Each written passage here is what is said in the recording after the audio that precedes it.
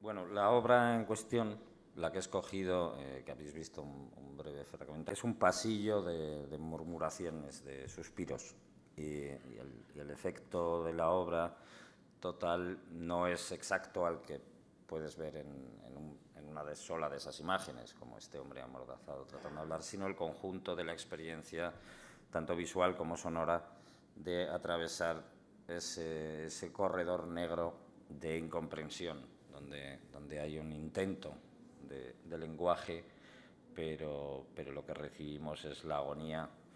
del fracaso de esa, de esa conexión, ¿no? de, esa, de, la articulación de ese lenguaje. Pero lo que me interesa mucho de Bilbayola es su precisión, la precisión que tiene a la hora de, establecer misterios en el lenguaje, misterios en la representación y también su pericia al, mismo tiempo que su escasa fascinación con la tecnología. Eh, utiliza la tecnología hasta sus últimos recursos y la explota, y sin embargo su obra a mí personalmente nunca me ha parecido fascinada con, la tecnología, fascinada con el aparato, fascinada con el monitor, sino fascinada con los sentimientos, con los sentimientos, con las impresiones, con, lo que nos hace, con lo que tiene de humano. En esta obra en concreto, que es quizá uno de sus trabajos,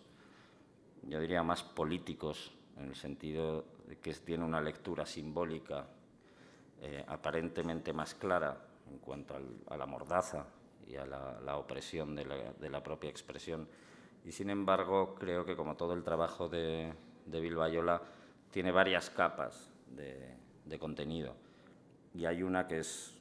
que es política, como digo, y otra es puramente humana, es decir, es el, es el conflicto de la comprensión, el, llanto del suspiro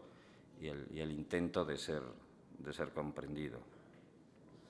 Y eso es lo que me interesa más del arte y por eso he seguido la obra de, artistas toda mi vida, entre otros de Bilbayola,